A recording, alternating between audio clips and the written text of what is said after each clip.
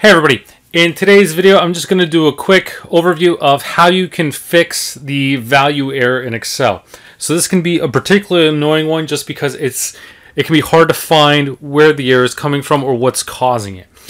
And normally the situation is when you've got a text value doing some sort of calculation with a number because you need to do you need to involve only numbers in that. And so if you're trying to multiply text, divide text, that sort of stuff, you're going to end up with, with a value error because Excel is not going to know what to do with that.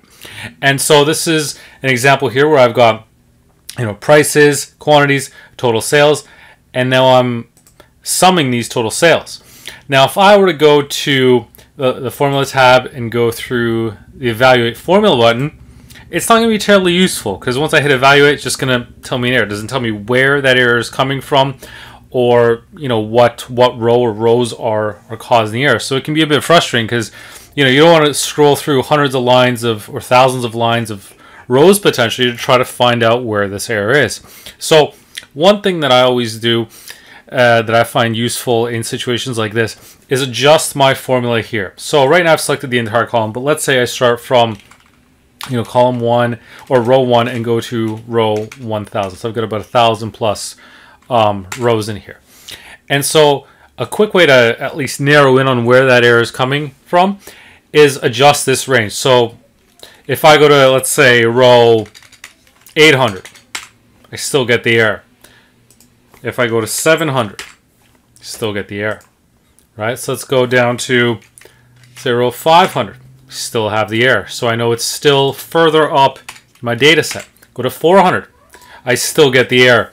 And if I change this to 300, now it's now it's working. So now I can see that uh, rows 1 to 300 are fine. So it's somewhere between 300 and 400. So let's say I go to 350. So 350 is already triggered an error. So I'm going to scroll down to between 300 and 350 and I should find out where my error is. So I go down and sure enough, there's my value error. So row 301, so just above 300. And so this one can be a bit confusing because you look at this, you know, I've got 7, I've got 1. Why is it not multiplying correctly?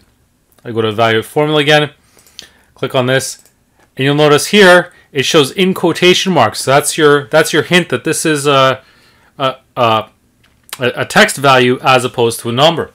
And so this value number 7, there's no space after, but there's a small space before. So for whatever reason, I put in purposely a, uh, space in front. When I get rid of it, that fixes my error. I go back up, and now my total sales are calculating properly. Now, if you've got multiple value errors in your in your in your in your data set, obviously that's you, you still might have more cells you need to correct. But by adjusting your range here, and I can change this back to going for the entire column D, now it's fine. If I had more issues to, to fix, then I'd still have an error. And again, I'd, I'd follow the same sort of approach of, of narrowing that range just so you're not looking at absolutely everything, just narrowing in on it exactly which cells are, are causing the issue. So that's a quick way to fix the value error in Excel.